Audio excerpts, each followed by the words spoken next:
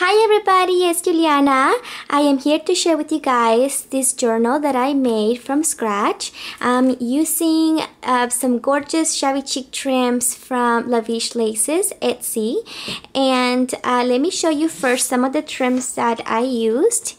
I received um, a couple of the chiffon trims uh, that are really gorgeous. These are some of the ones that I used in this journal.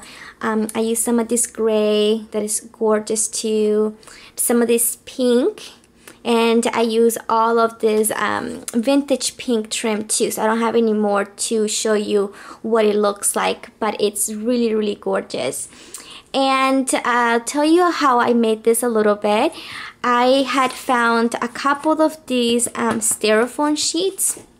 And I believe it's just like 8 by 11 or something like that and it's not too thick but um, I wanted to create something with these pieces so I cut it up in half and I made a journal which is this one right here.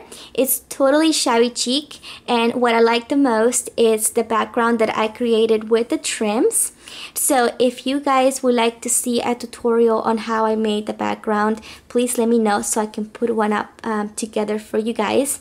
I was going to film um, my process making this, but um, I completely forgot until I was halfway almost done with it. So um, but yeah it just gives the background gives it such a nice shabby chic look and I absolutely love it um, it's my favorite part probably and then um, I'll show you the back. I added some canvas fabric in the back and also on the bottom of the front here. And the little journal opens up like this. It's just white pages on the inside. And I bind it with some lavish laces as well. So this gorgeous lace, I like totally love it. So I um, bind it that way on the side. Um, I added this beautiful image of this uh, girl and I found this on Pinterest. There's a couple of um, you know vintage images that you can print out and um, I framed the photo using this beautiful like crochet trim from Lavish Laces also it's very very beautiful you guys and um, very very shabby chic so I added the trim all throughout the picture. And in here I created a little bow. And this is using more of the chiffon trims um, with some seam binding this beautiful pearl trim that you can also find in her Etsy.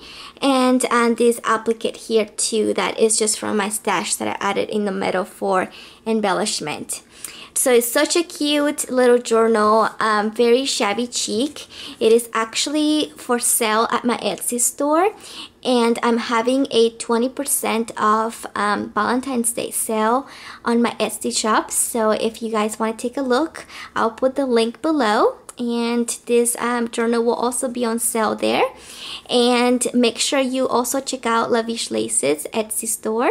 And she has gorgeous stuff you guys. And I will put the link of her store below too so you can check it out um, I will have more pictures of this journal also on my blog if you want to take a look. And um, let me know if you guys want a tutorial on how I created the journal. I'll be more than happy to do one with you guys. Um, and I hope you all have a great Valentine's Day if I don't um, see you before that. And thank you so much for stopping by and I'll talk to you guys all soon. Take care. Bye-bye.